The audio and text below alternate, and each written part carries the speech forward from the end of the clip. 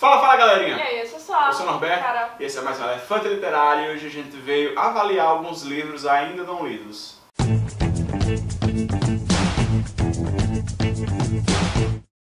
Eu ainda não lidos. Já, já soltei aqui, ó.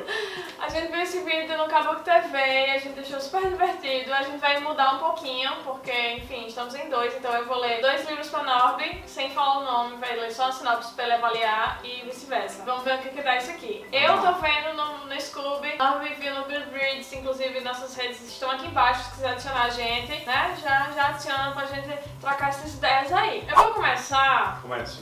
Eu acho que esse é um livro de, de crônicas, porque está dizendo que a autora possui um raro talento dos cronistas capazes de produzir textos intrigantes a partir de assuntos banais. Uma conversa entre amigas pelo WhatsApp, uma ligação para um salão de beleza ou as dificuldades de comunicação de um brasileiro em Portugal. Mais notável ainda seja a capacidade incomum dela de escrever com sagacidade e sutileza sobre assuntos nada banais, padrões estéticos, direito do trabalho, machismo e outras questões contemporâneas não só pertinentes como necessárias. Um dia ainda vamos rir de tudo isso. É uma coletânea de crônicas, né, como eu já havia suspeitado, publicadas no blog do Estadão, na sua coluna do Estado de São Paulo e no jornal Observador em Lisboa, além de algumas inéditas. Menina, essa é famosa, um monte de canto, viu? O que o leitor tem uma seleção de textos, e sim um relato do nosso tempo por uma das mais destacadas cronistas da nova geração. Na verdade, essa sinopse ela fala mais da autora É, eu do fiquei que... tipo, a, a promoção foi ótima na altura. Então, como você avaliaria esse livro por essa sinopse? Entendi. Tipo, ele fala muito bem, né? Sobre ela, assim. Mas ela pa- parece que fala de temas interessantes e outros não tanto, mas escreve bem. Então, como todo livro de crônicas, eu acho, não vai ser um livro com nota é, altíssima. Porque, pela minha própria experiência, eu acho. Eu sempre dou, dou, tipo três e poucas estrelas. Eu vou dar, porque ele disse que ele é uma- uma- um talento da nova geração, 3.7, 3.8. Tá, neste caso, a gente vai deixar a capinha aqui no meio, né? Não, neste caso não tem, não tem avaliação ainda, porque eu acho que é um lançamento Hum. e, tipo, uma pessoa quer ler. Ah, então eu me dei bem. E tipo, não, não tem estrelas no Scooby ainda, porque não tem avaliações. Então o Norby vai ser a primeira pessoa a avaliar este livro. Já tô aqui, ó. Nem li, já avaliei. Vocês vão ler a partir disso aí. Eu gosto da capa. Ah, é bonitinha a capa, né? Interessante. Eu gosto. Gostei. Eu acho que eu concordo com você. Por muito provavelmente tem umas crônicas melhores que as outras. Normal. Agora eu vou ler o primeiro livro pra você. Hum, tá. Ah, eu esqueci de dizer, mas eu vi esse livro aqui, Mari Santos marcou como quero ler. Pois eu vou lhe dizer agora um livro. É um livro que Bruna Miranda tá lendo nesse momento que a gente tá gravando. Eita! Né? Não vou dizer o nome. Responsabilidade. Aqui. Não, mas o nome é um livro de 2016. Quem nasceu aqui está condenado a permanecer até a morte. Quem se instala nunca sai. Bem-vindo ao Black Spring, a cidade do Vale Hudson, aparentemente pitoresca, assombrada pela Black Rock Witch, uma mulher do século XVII cujos olhos e boca são fechados. Mitigada, ela anda pelas ruas e entra em suas casas, conforme É ela do cabelo boca costurada? Você não tem como saber. Ela fica ao lado da sua cama por noites, por noites finais. Eu fiz uma tradução, gente, disso aqui, então acho que essa tradução não tá muito certa, não. Eu acho que é tipo nas suas últimas noites. Quando você vai morrer, ela fica do lado da sua cama. Todo mundo sabe que seus olhos nunca podem ser abertos, se ela estiver ali, né? Senão é perigo. Os anciãos de Black Spring praticamente colocaram em quarentena a cidade, usando vigilância de alta tecnologia para evitar que sua maldição se espalhe. Frustrados com o bloqueio, os adolescentes da cidade decidem quebrar seus rígidos regulamentos e tornar-se, tipo, atrevidos com a assombração, mas enviando a cidade em espiral para o escuro, deixando a cidade no buraco, né? Nada. Práticas tem. medievais do passado. Tem a cidade assombrada por essa mulher, aí protegeram a cidade. Aí os adolescentes foram lá e falaram, é o? Eu quero, é, quero é, brincar com essa bruxa, não sei o quê. Aí vão, parece que botar tudo abaixo. Pronto, mas muito melhor essa sinopse de novo, porque aquelas, tô brincando.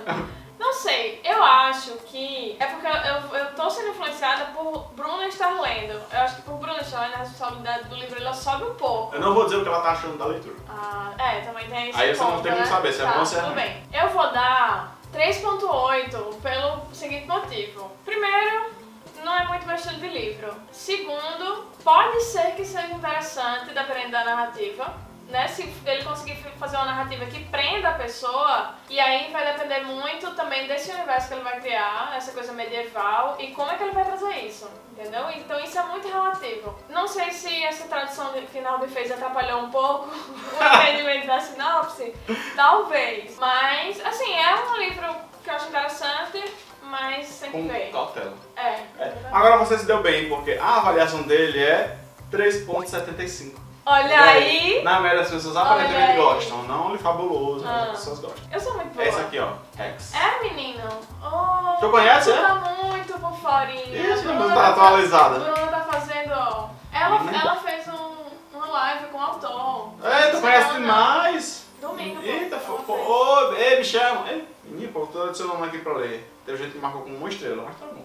É, ela é super legal. Ele vai pro Brasil, inclusive, em junho. Meu amigo. Mas agora eu Fez, faço no ela fez até um, um publi com umas, umas costuras na boca, não sei o que. Esse eu vi, eu acho. Pronto, é isso mesmo. Agora que você tá falando, tá me vindo na memória. Vamos lá, segundo livro é o segundo volume de uma série, Odeio aqueles. certo? De uma britânica. Na trama, Erin Vastel cuida da mãe e sobrevive da venda clandestina de suas porções e ervas medicinais. Mas quando o príncipe desperta do seu sono encantado e uma aldeia onde, onde vivem É o quê? É, ele e o protagonista, entendeu? Harry e o príncipe. Mas quando o príncipe desperta de um sono encantado e a aldeia onde vivem precisa ser evacuada devido à ameaça de uma guerra sangrenta, as coisas se tornam ainda mais difíceis para a jovem. Eu já tô com ódio desse livro.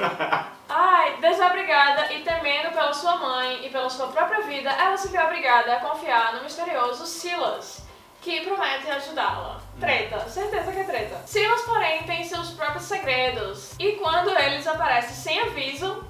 Tá, ele ia ajudar ela e desapareceu? Erin parte sozinha numa perigosa jornada para um reino. Gente, isso é muito a jornada do herói. É tipo, ele está descrevendo a jornada do herói mesmo. E o que ela descobre no caminho não só abala suas convicções e destrói tudo o que ela sempre acreditou, mas também exigirá que ela faça uma escolha difícil que pode mudar o futuro do reino. Tô por aqui já com essas Nossa coisas. senhora, pelo amor de Deus. Assim, geralmente coisas de, de reino, tá? Eu não sou muito fã. Ah. Mas eu tô pensando aqui cá com os meus botões, por exemplo, se eu ouvisse hoje a sinopse de um livro como Kiss of Deception, The Kiss of Deception, que é um livro que eu amei, seria mais ou menos essa mesma coisa. Então, não, não se pode Porque, pela, pela sinopse. Tá É porque a narrativa vai ser muito grande. Mas ah, o, o vídeo é pra julgar mesmo, sem saber. Então vá lá. Ah, tô jogando mesmo sem saber, eu odiei. É tipo, do... Não, vou dar odiei não, vou dar um 2.3. É, porque É o seguinte, como esse livro provavelmente um lançamento, cinco pessoas leram, cinco pessoas estão lendo e mil querem ler. Então é o livro O Príncipe Adormecido de Melina Salisbury e é da Rocco, tem quatro votos apenas e tá avaliado em 4.8. entendi. É, parece ser bom, né? Pelo quem já leu, parece É. estar gostando. Exatamente. Mas a sinopse não deu pra mim. Eu vi pelo meu Scooby por Leila. Ela marcou como lido e avaliou com quatro estrelas. Hum, entendi. Não conheço Leila. Leila, se estiver vendo esse vídeo, o que é que ela... Porque às vezes a sinopse a gente não, não se aproxima.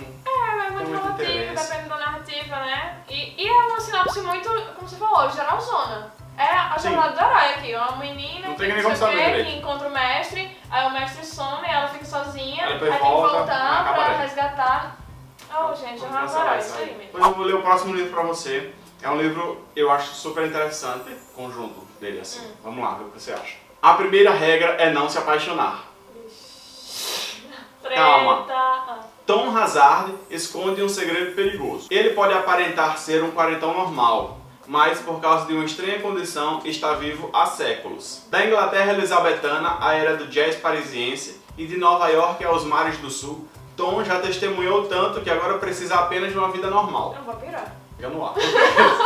é uma estranha condição, já disse, mulher. Ah, tá. Sempre trocando a identidade para se manter a salvo, ele Vampiro. encontra o espaço perfeito trabalhando como professor de história em Londres. Vampiro. Gente, O quê? Vampirão. O quê?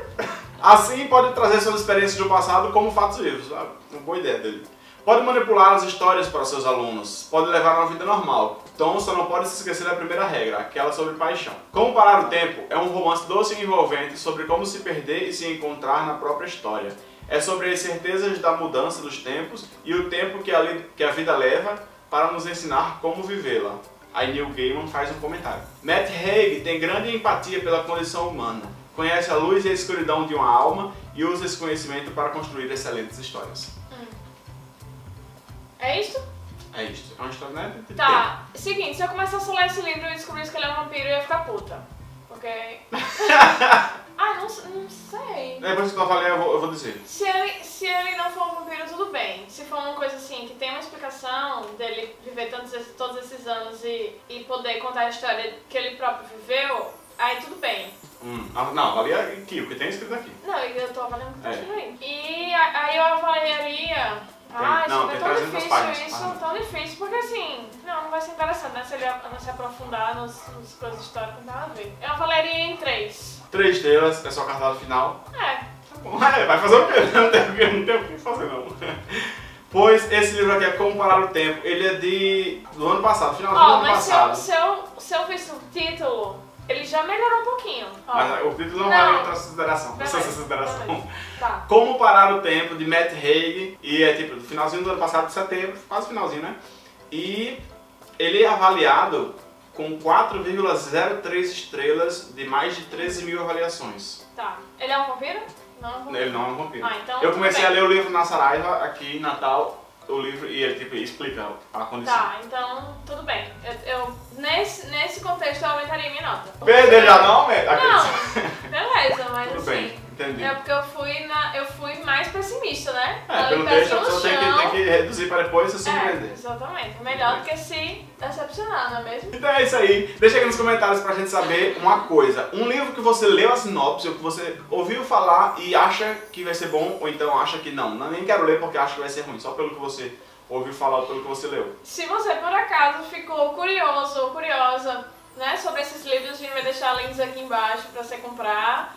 E aí você também já fala se já conhece, se não conhece e tal. Não esquece de deixar o seu like, se inscrever no canal, seguir a gente nas nossas redes sociais. Tem vendas chegando por aí e valeu! Valeu! Para. Mas quando ele desperta de um sono encantado, Quem desperta? é porque eu vou dizer o nome do livro. Ah, entendi. É, não, Tá. Eu não conheço, eu não sei conhecer.